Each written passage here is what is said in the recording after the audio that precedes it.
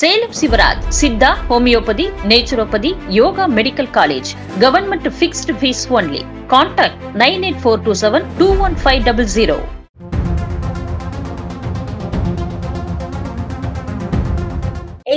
மற்றும் அம்புஜா சிமெண்ட் நிறுவனங்களில் தங்களது பங்குகளை அதானி குழுமம் அதிகரித்துள்ளது தற்போதைய புள்ளி விவரத்தின்படி அம்புஜா சிமெண்ட் நிறுவனத்தில் அறுபத்தி மூன்று சதவிகித பங்குகளையும் ஏசிசி நிறுவனத்தில் ஐம்பத்தி ஆறு சதவிகித பங்குகளையும் அதானி குழுமம் வாங்கியிருக்கிறது மூன்றாவது பணக்காரராக பட்டியலிடப்பட்டுள்ள கௌதம் அதானி நிறுவனங்களின் சந்தை மதிப்பு தொடர் ஏறுமுகத்தில் உள்ளன இந்தியாவில் தங்கள் நிறுவனத்தின் கிளையை தொடங்க இருப்பதாக ரஷ்யாவின் சைபீரியன் கோல் எனர்ஜி நிறுவனம் கூறியுள்ளது இரண்டாயிரத்தி இருபத்தி இரண்டாம் ஆண்டில் மட்டும் ரஷ்யாவிலிருந்து ஒன்று புள்ளி இரண்டு ஐந்து மில்லியன் டன் நிலக்கரியை இந்தியா இறக்குமதி செய்துள்ளது சைபீரியன் கோல் எனர்ஜி நிறுவனம் ரஷ்யாவின் மிகப்பெரிய நிலக்கரி தயாரிப்பு நிறுவனமாக இருக்கிறது ஐரோப்பிய நாடுகள் ரஷ்யா மீது விதித்துள்ள பொருளாதார தடையின் விளைவாக இந்தியாவில் கிளை அலுவலகத்தை தொடங்கவும் வியாபாரத்தை விரிவுபடுத்தவும் திட்டமிடப்பட்டுள்ளது இந்த நிறுவனம் இந்திய இந்தியாவில் ஆண்டிற்கு பத்து மில்லியன் டன் நிலக்கரியை விற்பனை செய்ய முடியும் என்று நம்பிக்கை தெரிவித்துள்ளது ரிலையன்ஸ் பெட்ரோலியம் ரீட்டைல் நிறுவனம் சுபலட்சுமி பாலியஸ்டர் மற்றும் சுபலட்சுமி போல்டெக்ஸ் நிறுவனங்களை வாங்க முடிவு செய்துள்ளது மொத்தமாக இரண்டு நிறுவனங்களையும் ஆயிரத்தி அறுநூறு கோடி ரூபாய்க்கு வாங்க ரிலையன்ஸ் நிறுவனம் டீல் பேசியிருக்கிறது இந்த நடவடிக்கையின் மூலம் தங்களது பாலியஸ்டர் வியாபாரத்தை இன்னும் விரிவுபடுத்த ரிலையன்ஸ் நிறுவனம் திட்டமிட்டிருக்கிறது ஏற்கனவே உலக அளவில் பாலியஸ்டர் உற்பத்தியில் வலிமையான இடத்தில் இருக்கும் ரிலையன்ஸ் நிறுவனம் தங்களது ரெக்ரான் பிராண்டையும் முன்பாகவே பிரபலப்படுத்தியுள்ளது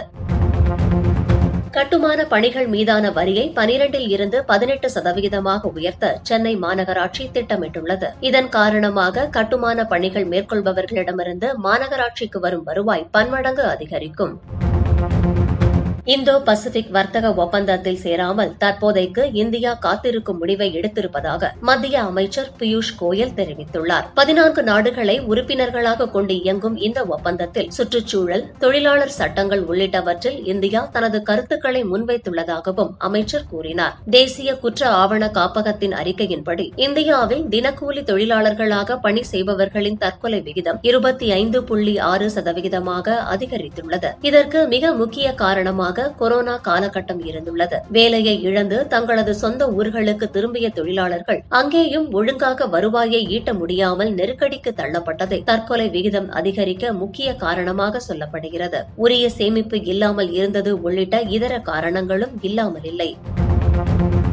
மும்பை முதல் அகமதாபாத் இடையில் வந்தே பாரத் எக்ஸ்பிரஸ் ரயிலின் சோதனை ஓட்டத்தை இந்திய ரயில்வே மேற்கொண்டது சோதனையின் முடிவில் நானூற்றி தொன்னூற்றி ஒரு கிலோமீட்டர் தூரத்தை ஐந்து மணி நேரம் பதினான்கு நிமிடத்தில் இந்த ரயில் கடந்துள்ளதாகவும் குறிப்பிடப்பட்டுள்ளது அதிகபட்சமாக மணிக்கு நூற்றி முப்பது கிலோமீட்டர் வேகத்தில் இந்த ரயில் பயணித்துள்ளது பார்ப்பதற்கு புல்லட் ரயில் அமைப்பில் வந்தே பாரத் ரயில் வடிவமைக்கப்பட்டுள்ளது